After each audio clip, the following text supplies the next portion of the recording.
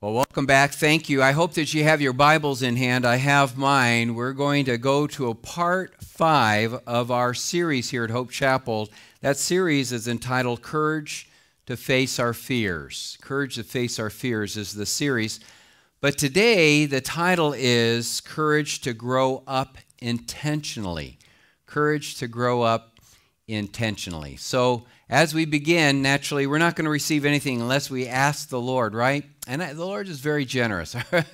Heard about this person that wanted to know, and Lord, how much is really a million years like to you, God? And he answered back, it's like a second. So he said, Well, Lord, how much to you is a million dollars? And he says, It's kind of like a penny to me. Then the man felt very confident to say, Well, Lord, may I have a penny? And God said, In a second.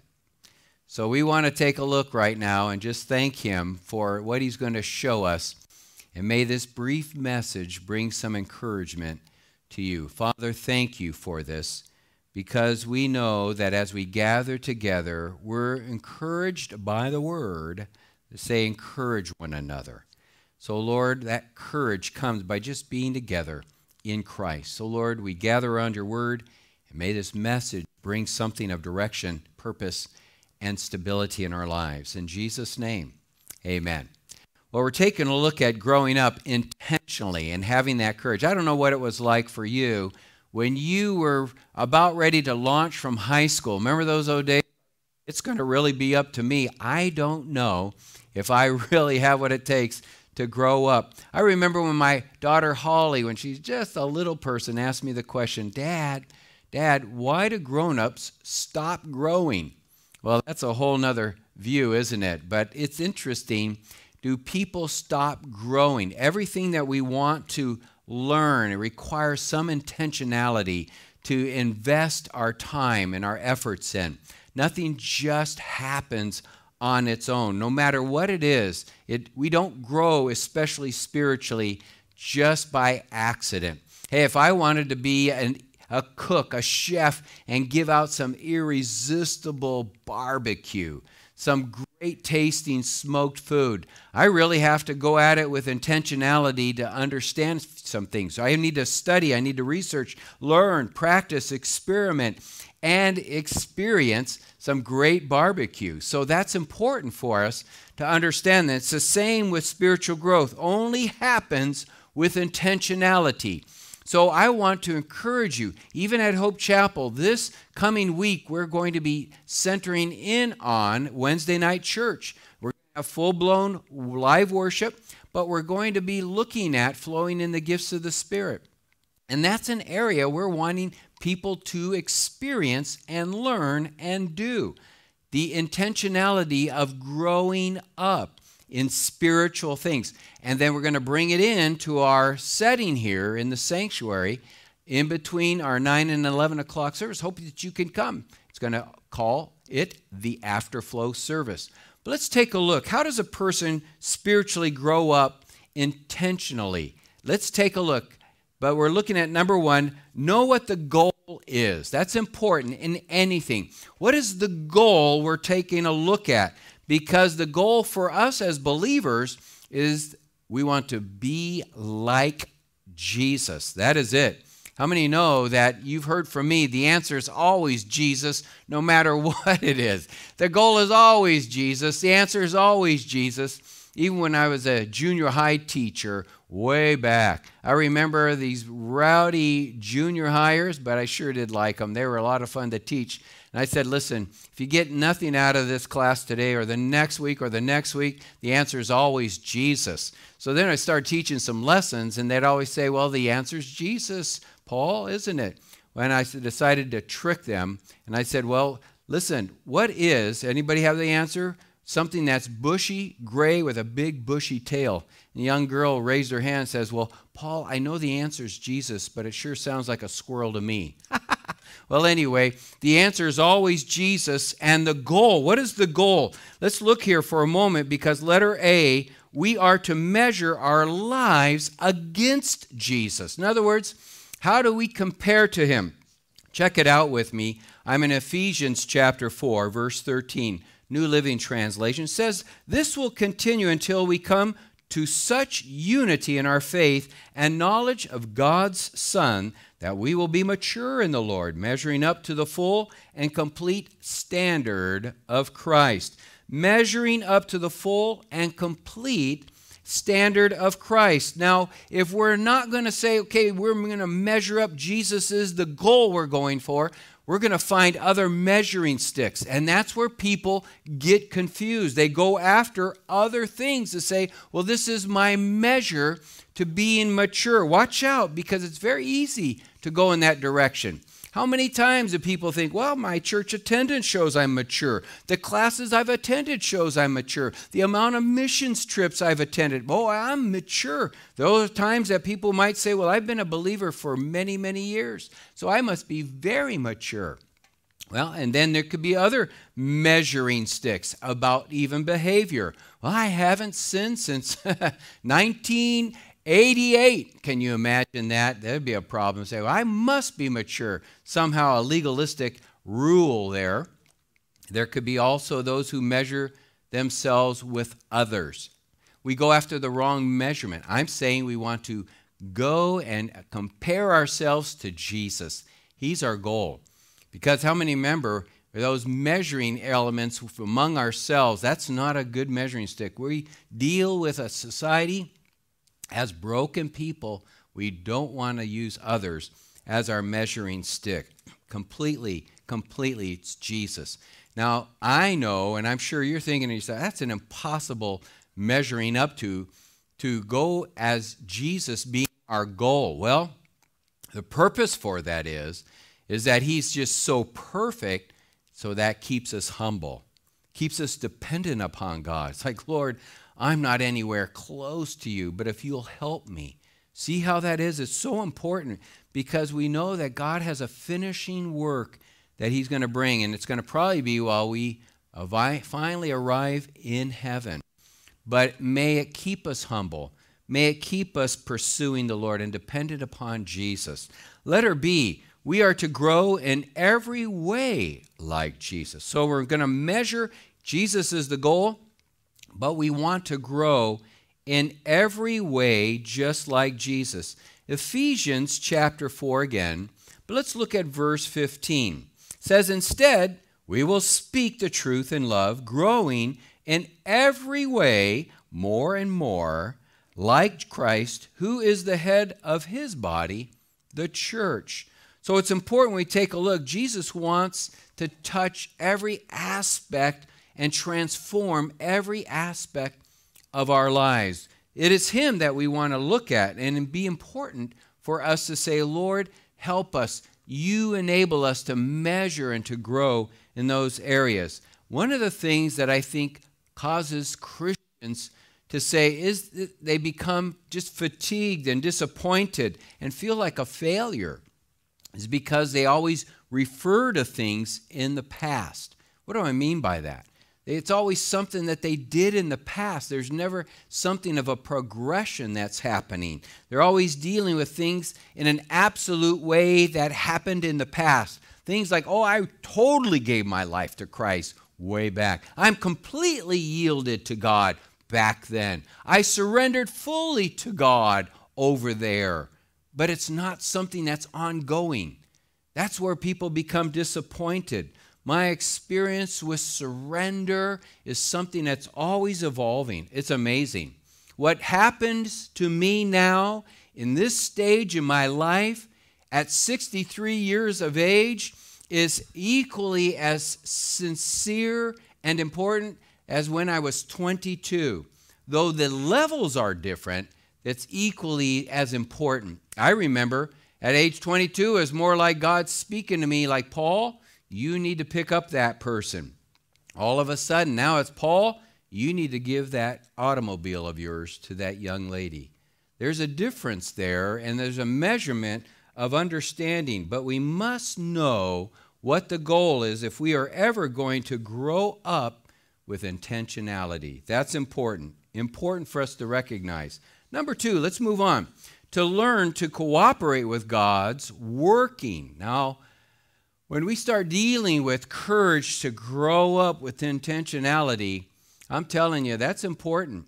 Nobody wants to just consider, like, I've arrived. But the area of cooperation, let's look at Philippians chapter 2.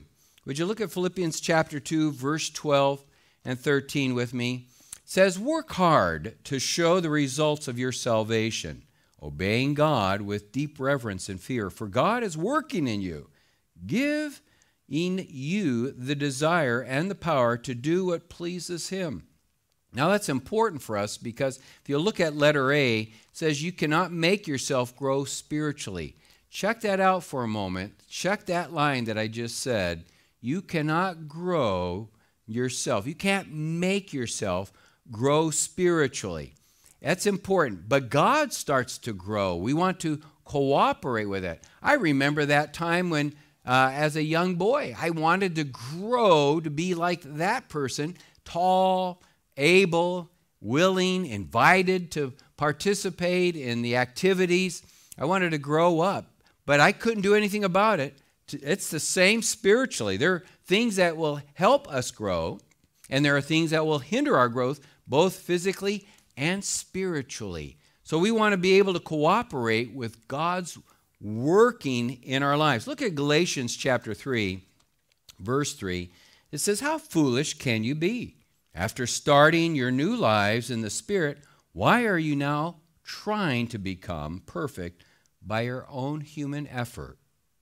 So, when we deal with this, it's important to know what is our part of growing spiritually, growing up, and what is God's part significant for us. Let's look at letter B. Learning to cooperate is essential for future growth. Why is that? Well, it's critical spiritually, it's critical. The skills that happen there to cooperate. I like the fact how significant it is in Hebrews chapter 13, verse 21. Check it out with me. It says, May he equip you with all you need for doing his will. May he produce in you through the power of Jesus Christ every good thing that is pleasing to him. And I think it's important for us that we need to take a look because cooperating. What do we mean by that? The courage to grow up intentionally is vital because it's God, the Holy Spirit, that sets the curriculum. And it's God, the Holy Spirit, that sets how long that course will last. That's important. Lord, I cooperate with you. How many remember James chapter 1 says, Count it all joy, brethren, when you fall into various trials, knowing that the testing of your faith produces something. And verse 5 says, If any of you lack wisdom, let him ask of God. So that's important. Lord, what's going on in this trial of my life?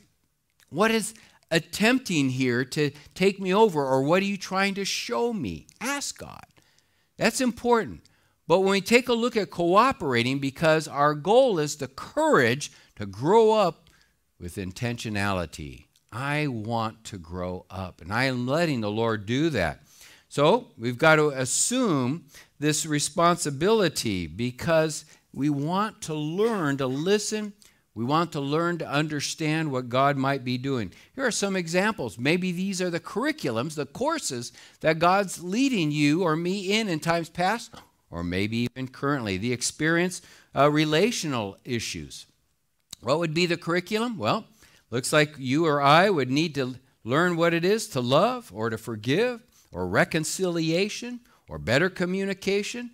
What if the experience all of a sudden ends up with stress issues? Well, the curriculum all of a sudden would be how to discover and live in an element of peace, regardless of the exterior. What if it's experiencing a lack of finances? Well, the curriculum might just be the Spirit of God saying, Listen, I'm going to grow you up here. And it is dealing with how to trust God and obey in areas in dependence upon Him. What if those experiences, once again, remember, cooperating is essential. What if it's a lack of joy or satisfaction in your life? Well, the spiritual curriculum might be learning the secret of contentment, not praying to try to get somewhere, but praying, Lord, help me just to work through what is happening. So, whatever pain or frustration or problems or irritation, is this a curriculum? The Spirit of God says, I am going to grow you up with intentionality. Oh, Lord, I want to cooperate. I remember as a Royal Ranger commander, I first started off ministering, ministering to young boys. I had the category of 9 to 12 year olds. And one day we were really in some cliffs and we were teaching the young teens how to rappel down the cliffs. And my group was off by the picnic tables while the older boys were learning to rappel down the cliff, down to the canyon below. But my group, we were about 60 yards away. We were off the picnic table. We were laughing, busting up jokes. It was a lot of fun. And then all of a sudden, the instructor was done with that set of boys and he yelled, Hey, Paul, bring your guys on over to the edge of the cliff. Whoa, you know what? When that happened, all the fun and games, we were sobered up. You started looking over the cliff, you felt the heat, the thermals rising from the canyon floor. I'm telling you, all eyes and ears were wide open. What do we need to learn to rappel down? And what I was just wanting to say, it's interesting because when God starts to work in our lives, whatever that spiritual curriculum is, sometimes it can be a little bit tedious, tense, maybe tender to us. Lord, why am I going through this? And I'm telling you, some people's prayers are, Lord, keep me away from anything like that. In other words, I want to go back to the picnic tables, get me away from the edge of the cliff. I want to, their whole prayer life, their whole purpose in life is to live as far away from any form of challenge or journey in Jesus. We just want to back off from anything. Don't do that. Don't do that. I encourage people here at Hope Chapel, come on, be a part of our afterflow on Wednesday. It's starting this Wednesday. You'll love it, 7 to 8:30. We're going to learn together some things about moving in the Spirit and in the gifts of the Spirit. Let's journey together Let's enjoy together. Well, let's take a look at another one. Number three, develop habits that help you grow. Develop habits. I like 1 Timothy chapter 4, verse 7. It literally just says this train yourself to be godly. that word train literally means describing habits. When you work on habits or you repeat habits, it becomes really a pattern or an action. Now, that's important for us because nothing just grows on its own. That's what we're saying again. We're talking, I want to grow. I don't want to be the same Paul Harmon today, five years from now. Lord, do something in my life. I want to correct. I want to walk. I want to journey. I want to be with you. I want to ask God, what is it that's hindering my growing up? And what is helping my growing up? Here are four habits that every follower should have. Nothing new to you and me, but it's worth putting out there. Number one, just take a look at the bullet points the habit of God's Word daily. Do you have a reading plan in the Bible? That's important for us. Any type of reading plan will do, but get into the book. Don't always read even Christian literature. Get into the book, make sure it's daily. Another bullet point the habit of communing with God daily, called prayer. Do you talk constantly with God? Are you asking Him and processing your emotions or your thoughts or your struggles with Him? Another bullet point would be the habit of serving. Serving and spiritual growth go hand in hand. It's so significant. If God says, I want you to learn to forgive your brother, and yet we avoid that brother, we'll never learn what it is to issue forgiveness. It's important for us to have the habit of serving. We can take in, but if we're never taking and giving out, boy, that's not a healthy Christian lifestyle. The fourth and final bullet point the habit of community. The growing, the best way together is with others in our life, not in isolation. We've hit those things, we've understood that. I just want to highlight that because the point three is develop habits that help you grow. Number four, see failure as the learning process. Boy, that's important for us. See, Phil, I, I find that as I age and I deal with older adults, we start to see failure as a negative. Oh, I wish I didn't do that early on. I wish I could go back and say, oh, don't do that. See it as a positive, as a learning element, part of the overall growth process. Remember, courage to growing up with intentionality. Let's look at Luke chapter 22.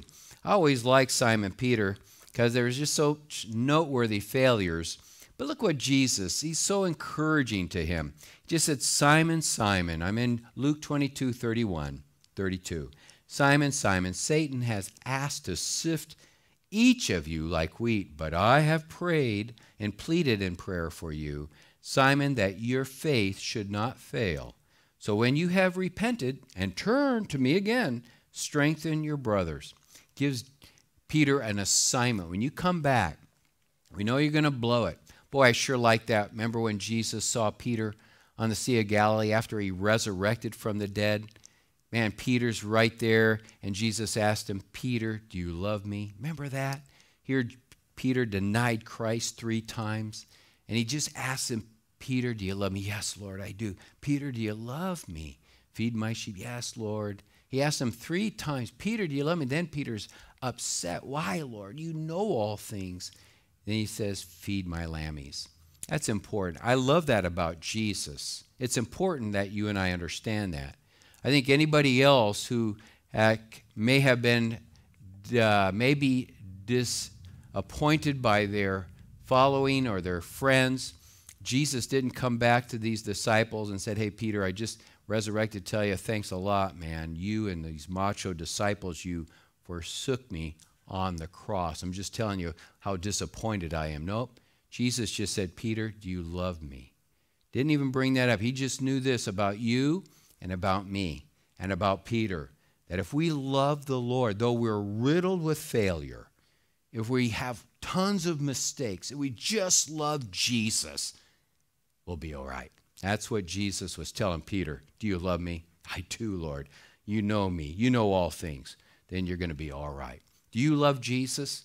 That's important for us because what failure does not mean, please remember, Failure does not mean that God no longer loves us. That is not what failure means. Failure does not mean that we're somehow losers either, that we're somehow now identified by past misdeeds. And failure doesn't mean either that we will become unforgivable, that somehow God's tired of that. We've done that three times in one day. And you think He's going to forget? Yes, He'll forgive. He's faithful and just to forgive us. Failure does not mean that we're spiritually stuck somehow and that now we'll never improve, we'll never progress. Watch out for those things. We're talking about growing up, courage to grow up with intentionality so watch out for that. Never, boy, if I want to be the best cook on a grill, man, I, I've burnt many things on my barbecue. Didn't keep me from going back at it. Go back. Keep at it. Don't let failure stop. What failure should do, what failure does mean, is that it increases our dependency upon Jesus. Oh man, I can't do this journey by myself. That's what failure means. Failure means that you maintain a healthy humility. I'm telling you, scripture's pretty clear. Before a collapse, before a fall, pride comes. So, Lord, I need you. Failure does mean that we have to really still work to do. That's it. Lord, I still have work to do in my life, and I want to keep on learning. So, the greatest life lessons for you or me, has it not been? When there's been a really a terrible season of some painful, painful situations. Don't despair. That's important. Be courageous. Let's grow up with intentionality. Remember, nothing grows by itself if we're wanting to really apply something in our lives. It's important for us. So I do feel sometimes, and maybe I'm talking to you, and you feel discouraged and you feel like quitting, quitting things. And like, what is the effort? It feels like a bunch of do's and don'ts. No, don't do that. Don't do that. Hang in there. Watch out. A very painful situation I'm sure you're dealing with right now, but hang in there and trust the Lord for that. And number five, the value. Value feedback from others as a true gift. Value feedback. Now, that's important for us because feedback, get this, is the breakfast of champions. If you want feedback, you need feedback in order for your life to be a success, in order for your business to be a success. You and I need people to give us feedback because we don't know what we don't know. We really need people to help us with that. I want to grow up. I'm courageous and I'm willing to ask people for feedback. Give me feedback. So we, we don't think that when we're willing, as a pastor, I want to give people feedback. Oftentimes, I, I think, yeah, they'll hate hearing it, so I just won't give it. And for us that are looking for feedback, oftentimes, oh man, that, that's harsh. Oh, I hate getting feedback. Oh, that's so painful. So oftentimes, I want you to know let's view feedback as a gift. In our setting of the after flow, we're dealing with how to move in the gifts of the Spirit.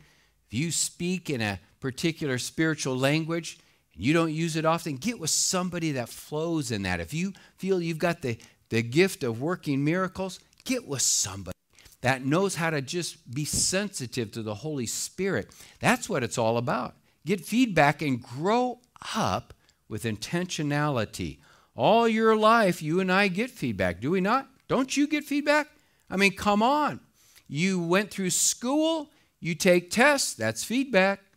You go ahead and you're dealing with a date, somebody you take out on a date, and you could see right now she's not willing or he's not willing to really follow through with that. That's feedback. How about just somebody honking at you while you're driving? Listen, that's that's feedback. We just have areas where we just don't like certain feedback. You have a job, get a job review. Listen, that's feedback. We need feedback. Let's view it as a gift. So, your willingness to accept feedback is really going to help you and me to grow up. Have courage to grow up with intentionality. Don't dread feedback, crave it. I need feedback, but I do have to be careful who gives me feedback. Why? Because who is that source that's just randomly speaking to me? And that's important. Let's crave feedback. Can anybody help me to be a better person in this way or approach uh, the uh, maybe audience in some form or my relatives in a better fashion? Is there anyone that can help me be a better parent? Some way, somehow. And the best way to handle getting feedback is to make sure you separate the do from the who. Now, that's important. The do means make sure they give you feedback on your performance. The who is you don't want because that's where you start to criticize who, who we are. So get the person that's going to give you the feedback on performance, not on character evaluation or criticism that way. That's where it becomes painful. So make sure it's about performance and bring clarifying questions when you want feedback. You saw what I did? What did you think it was like from your perspective when I spoke that to that person? How do you think I came across when I was addressing that? Do you think I looked timid when I was looking up? I kept my eyes closed too long. That kind of specific question. You say, What do you think? What do you think? What are you asking for? So that's important. Be specific. So we must reject the myth that somehow we can grow up and develop all by ourselves. That is a myth. There's no way. That does not happen. We need each other. It's important. We need the input of each other. That's the beauty Hope Chapel is leaning into Wednesday church service, the afterflow, for the sake of bringing that spiritual dimension in between our services. I'm so excited. I hope you'll be a part of that. Hope you'll bring your friends that need to have prayer and see what God and how God will heal them, provide for them. Oh, I'm so excited. I believe God's going to use you simply by how we invite people that need Christ and a touch that'll change their life forever. How do we go ahead and get that feedback, let's take a look three things while we wrap it up today. Letter A, advice. I like the uh, the central theme of Proverbs is all about making sure that we acquire wisdom by listening to others or receiving insight from others. That's the book of Proverbs. But let's look here for a moment on advice because when you look here in Proverbs 15 22, it says, Plans go wrong for the lack of advice. Many advisors bring success. look at Proverbs chapter 19, verse 20. It says this Get all the advice and instruction you can, so you'll be wise the rest of your life. Isn't that nice? So, getting advice is the further along in our journey we go in our lives, we want to have people around that have been there before. Would you seek out those people that have been there, that have experienced that? We need those people in our lives. I won't be offended. That's how I won't be offended. I need you to speak. What should I expect when I go into that area, when I deal with that job situation, when I'm trying to pray for the unknown and help my friends or family find help in God? Boy, that's that's good advice to seek out from those that have seen results or maybe even setbacks, possibly even failures. All of that's a great learning curve and great feedback. Letter B, correction. In Proverbs chapter 10, let's look at says here in verse 17, correction. It says people who accept discipline are on the pathway to life, but those who ignore correction will go astray. I think that's amazing because we all have blind spots. No one can completely self correct on their own. It never happens. We need somebody to say, let me help you get a, a course correction going. Check it out with me in Proverbs 15, verse 32. If you reject discipline, you will only harm yourself. But if you listen to correction, you grow in understanding. Wow. Feedback. We need that, do we not? And finally, encouragement.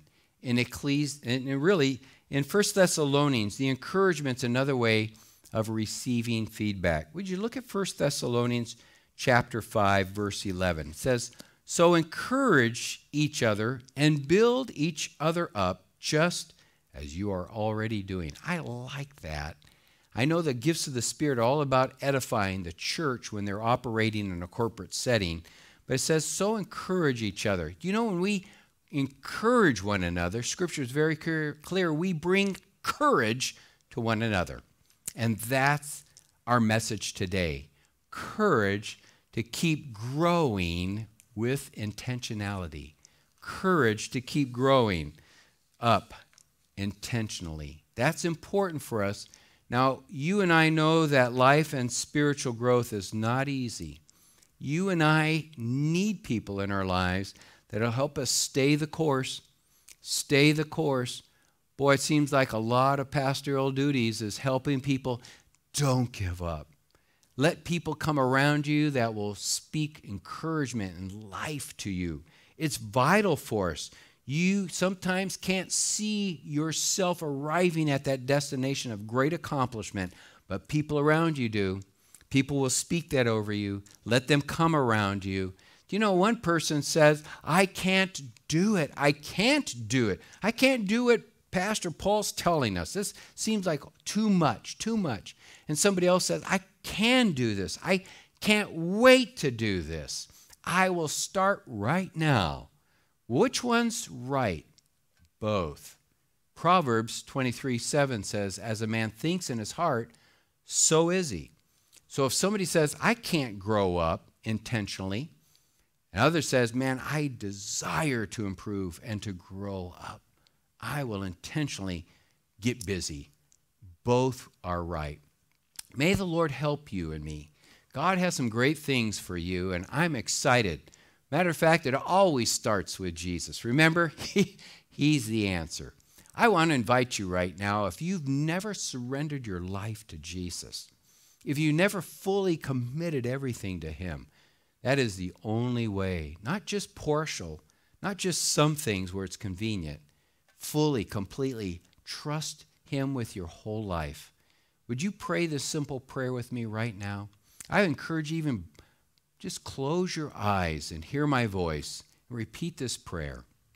Dear Jesus, I believe in you, that you are the Savior of the world. And right now, dear Lord, I ask you, save me from all my past. I trust you for the future you have for me. Forgive me of my sins. Come into my life to stay. I trust you, dear Lord, to make me the kind of person you want me to be. Now, Jesus, I believe heaven is mine, that, Lord, grow me up quickly so that I can help others grow in you as well. In Jesus' name I pray. Amen. Well, I believe some powerful things are going to be happening to you. I can't wait to hear about it. I hope that you'll be able to come by Hope Chapel one day soon. Things are opening up in the state of California. Maybe you don't live anywhere near California. Would you send me an email? You'll see my email address on our website. Go to hopechapelhb.org, check it out. Would you continue to just be praying for us? Some wonderful and enriching things are happening in our church community, and it's affecting Huntington Beach in powerful ways. Can you be a part of that? We're going to be concluding right now, but linger just a little bit, and I'll be back to show you how you can partner with us financially as well. And I want to thank you so much for joining us today. God bless you. May God bless you and keep you. May God cause his face to shine upon you and be gracious to you. May God's countenance come upon you and give you peace. God bless you. Thanks for joining us today. I'll see you soon. I want to thank you for joining us today at Hope Chapel, Huntington Beach. It's our desire to bring the teachings of this church to others globally. If today's message has brought you closer to Jesus, we want to know. Can you send us an email to office at hopechapelhb.org? Would you consider supporting this ministry financially? You can give securely online at hopechapelhb.org slash give. If a check is your preferred method, you can send a mailed check to Hope Chapel, P.O. Box 548, Huntington Beach, California 92648. If you want to be contacted by Hope Chapel, would you consider subscribing to our weekly newsletters at Hope Chapel? hb.org slash subscribe. Whatever season of life you're in, we want to go through it with you. We want to thank you once again for joining us, and God bless you.